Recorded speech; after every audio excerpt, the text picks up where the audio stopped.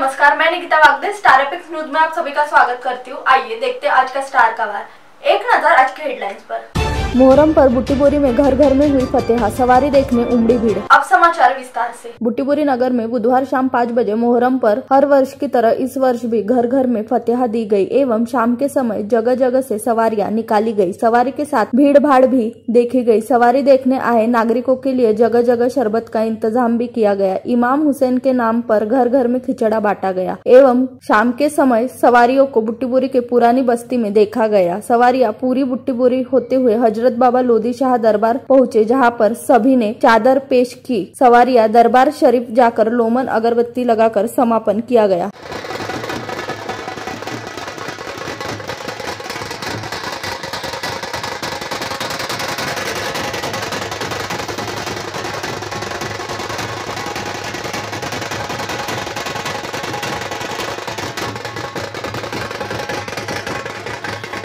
अधिक जानकारी के लिए देखते रहिए स्टार एपिक्स न्यूज़ स्टार का वार।